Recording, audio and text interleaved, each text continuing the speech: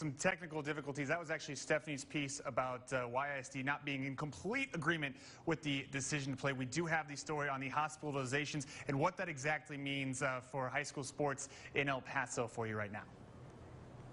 As the pandemic ravages El Paso, hospitals in the Sun City are beginning to overflow with 939 patients hospitalized with COVID 19 as of Friday morning. It's affecting um, the health of our of our people in many, many ways. One of the main problems with the hospitals being at 100% capacity is the effect it has on non COVID emergencies, including car wrecks and sports injuries. El Paso ISD made the decision to suspend athletics for two weeks on Monday, and Athletic Director Maria Kennedy said the hospital space factored into the decision. That was even mentioned in, in, in our meeting on Monday was you know, heaven forbid a kid gets hurt at a football game or wherever, cross country, whatever the case might be, and, and we don't have anywhere to send him. This week, the city of El Paso and the state of Texas made arrangements to expand hospital space. Tents have been set up outside some medical centers. The El Paso Convention Center has been converted into a hospital, and Beaumont Army Medical Hospital at Fort Bliss has been made available. Freestanding ERs around the city also have the capability to handle some emergencies. It will uh, equally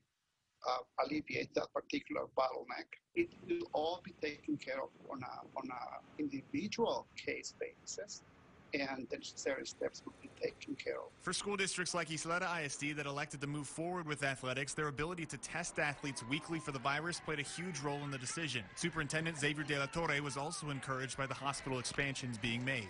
Football can be a violent game, and uh, I appreciate knowing that uh, Fort Bliss is now involved and uh, may be available or likely will be available to take no non-COVID uh, related cases. Above all else, doctors want El Paso residents to know that regardless of the current hospitalization levels, if you need treatment, seek it out. They will not turn away any patients who come uh, to our um, facilities seeking for uh, medical attention.